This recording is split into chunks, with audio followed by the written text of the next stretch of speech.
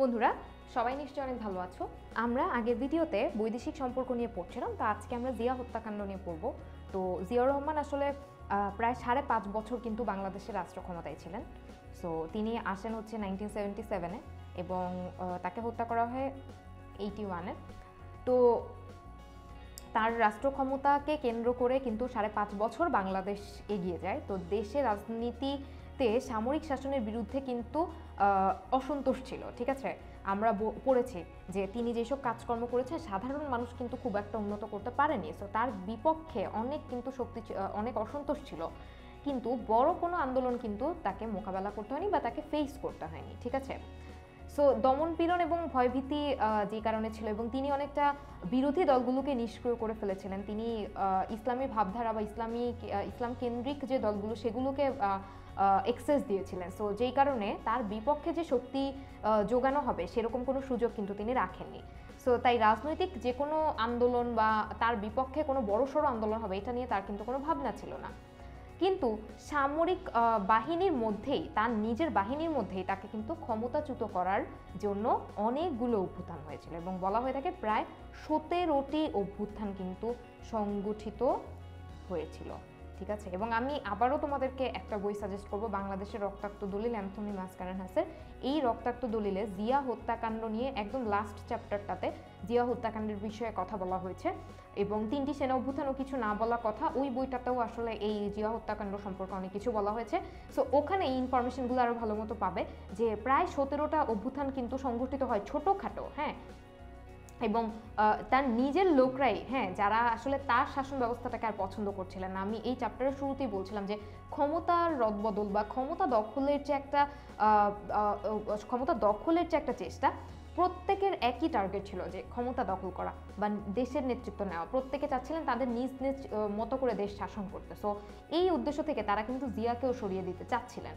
ঠিক আছে?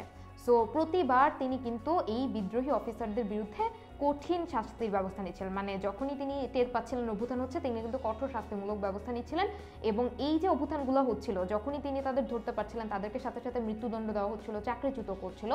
কিন্তু শেষ পর্যন্ত আর শেষ রক্ষা তিনি করতে পারেননি। সেনাবাহিনীর ভিতর থেকে তার জীবনের উপর কিন্তু আক্রমণ আসে এবং সেটা কখন? তিনি হচ্ছে একটা সার্কিট হাউসে যান চট্টগ্রামে। চট্টগ্রামের সার্কিট হাউসে কোনো একটা মিটিংয়ের জন্য যান, এখানে এই বইটা পড়লে জানবে। সো এই এখানে সার্কিট হাউসে তিনি যখন যান, সেই সময় উনিশশো একাশি সালের ত্রিশে মে তারিখে সেই সার্কিট হাউসে তাকে কিন্তু একটা অভ্যুত্থান আক্রমণ করে এবং এটা অলমোস্ট মধ্যরাতে। হ্যাঁ মধ্যরাতে কিছু অফিসার তার এই সার্কিট হাউসে আক্রমণ করে এবং তাকে কিন্তু হত্যা করে, ঠিক আছে? এবং সেই হত্যাকাণ্ডটাও কিন্তু অনেক নির্মম ছিল, তাকে অনেকগুলো গুলি করা হয়, তারপরে কিন্তু তাকে মারা হয়। তো, এইভাবেই কিন্তু আসলে তার তার যে শাসন ব্যবস্থা বা তার যে আসলে তার যে আসলে ক্ষমতা সেটার কিন্তু পরিসমাপ্তি ঘটে, ঠিক আছে? এবং তার পরবর্তীতে আবারও জিয়ার হত্যাকাণ্ডের পরপরই কিন্তু আবারও উপরাষ্ট্রপতি আবু সাত্তার কিন্তু রাষ্ট্রপতির দায়িত্ব পালন করেন, যেটা হচ্ছে তিনি কিনা জিয়া যাকে সরিয়ে যিনি রাষ্ট্রপতি হিসেবে আসলেন সাত্তারকে সরিয়ে সেই সাত্তার সরি সাত্তার বলছি, সেটা তো সায়াম ছিল আম সরি একটু ভুল হয়ে গেছে।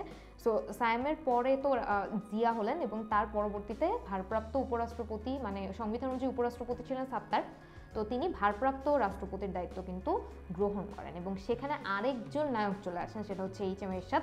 তিনিও হচ্ছে সেনাপ্রধান হিসেবে দায়িত্ব পালন করা শুরু করেন, তাকে হত্যার পরপরই। সো বলা হয়ে থাকে যে জিয়ার হত্যাকাণ্ডের পেছনে পরোক্ষভাবে ভূমিকা ছিল কিন্তু এই জেনারেল এরশাদের। কিন্তু জেনারেল এরশাদও সেম সেম উদ্দেশ্যেই কিন্তু তিনি কাজ করে যাচ্ছিলেন নীরবে।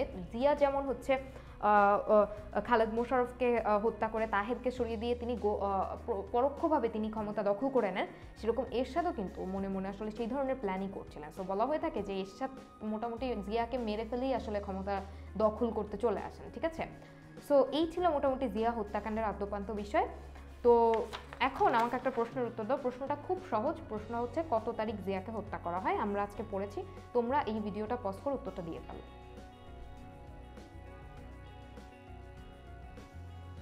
তাহলে আমরা দেখেছি যে ত্রিশে মে তারিখে সেটা কত সালে?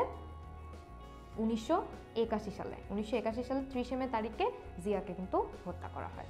পরবর্তী ভিডিওতে আমরা বিচারপতি সাত্তার যে আসলেন বা রাষ্ট্রপতি হিসেবে দায়িত্ব পালন নিলে গ্রহণ করলেন, সেটার কার্যকলাপ সম্পর্কে জানব। সো আবারও দেখা হচ্ছে পরবর্তী ভিডিওতে।